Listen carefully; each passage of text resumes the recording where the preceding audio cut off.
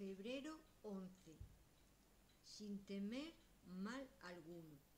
Aunque ande en valle de sombra de muerte, no temeré mal alguno, porque tú estarás conmigo. Tu vara y tu callado me infundirán aliento. Salmo 23, 4. Lectura adicional recomendada Daniel 3. Aun cuando atravesaba momentos de prosperidad, David no olvidaba su condición humana, sino que meditaba acerca de las adversidades que podían sobrevenirle.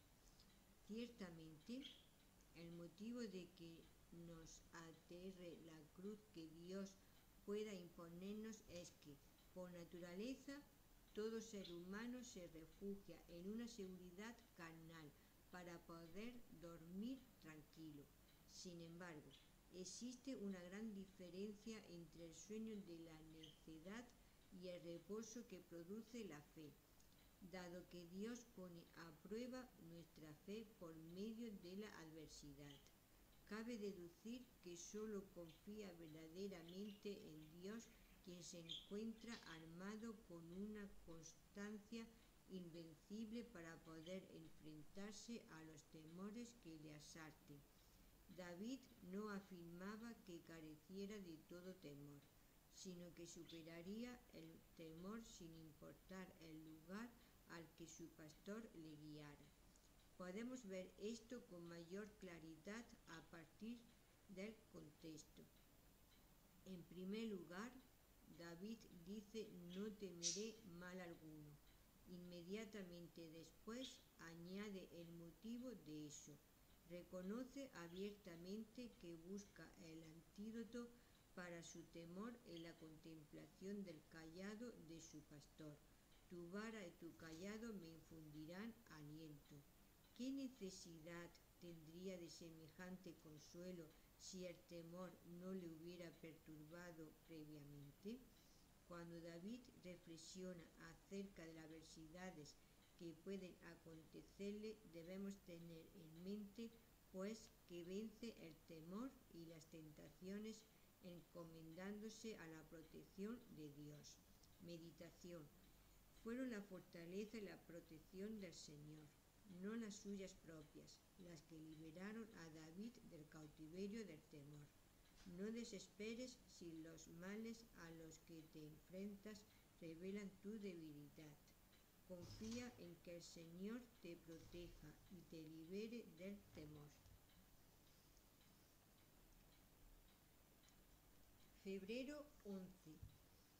La gracia obra para liberarte de tu amnesia de la eternidad con el fin de capacitarte para vivir a la luz de la esperanza del porvenir. No siempre vivimos lo que decimos creer. A menudo hay una discrepancia entre la teología que creemos y la teología funcional que vivimos diariamente. A menudo hay una separación entre, por un lado, la doctrina que decimos que hemos abrazado y, por otra parte, las decisiones que tomamos y la ansiedad que sentimos. Uno de los temas en donde esta discrepancia se evidencia en muchos de nosotros es en la enseñanza bíblica sobre la eternidad. Decimos que creemos en la vida eterna. Decimos que esta vida no es todo lo que hay. Decimos que viviremos eternamente, pero a menudo vivimos con la coacción, la ansiedad y la imposibilidad de una anepsia de la eternidad.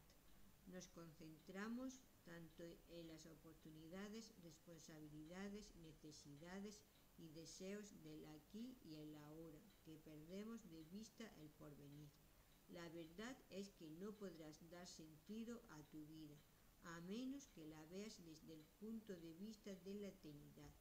Si toda la gracia que Dios nos da solo sirve para este mundo, si no restaura lo que el pecado ha provocado, entonces quizá hemos creído en vano.